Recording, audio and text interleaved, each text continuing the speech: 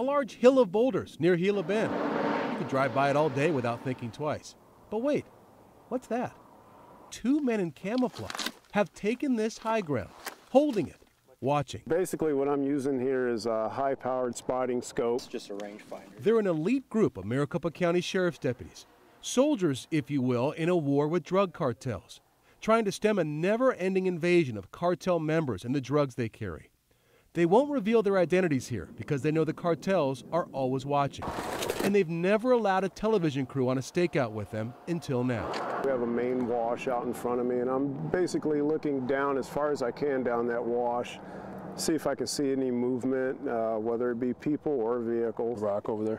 These small spotter teams will watch for the smugglers from their hidden positions. Sometimes they're on foot, sometimes ATVs, Further on that vehicle. and then radio to crews on the ground to intercept them. That's your copy. And the bus can be big, hundreds of pounds of pot at a time, sometimes harder drugs, many times guns.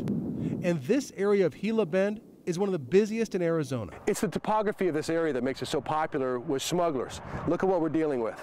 There's a mountain range directly to the south of us. On either side of that mountain range are relatively flat areas where the smugglers move their drugs.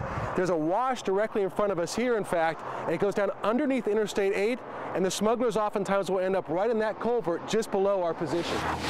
It's a good spot to control.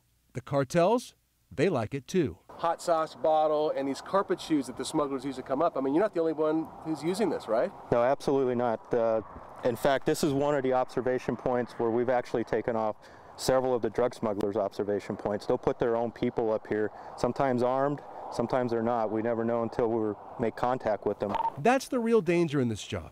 Those doing the watching are often watched themselves by some of the most ruthless criminals in the world. Still, with the success these deputies enjoy, taking drugs and guns out of the cartel's hands before they can hit the streets of the valley, it's a job they love and say the danger is worth it. Up here, I mean, it, it still gets exciting when we spot something and we start calling it out. It, it's an adrenaline rush, and uh, I, I enjoy doing it. 10 4 copy.